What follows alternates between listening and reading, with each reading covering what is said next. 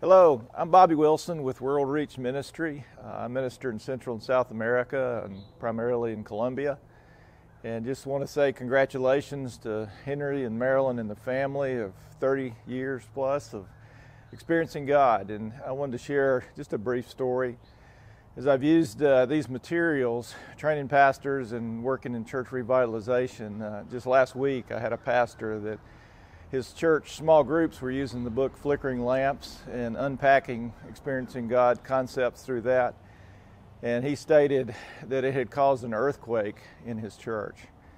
And it wasn't a negative statement, it was how God was working and really shaking up that church and causing them to rethink uh, what they were doing and allowing them to see God at work and uh, God growing them. So I just want to say thank you for allowing God to use you and for your faithful service.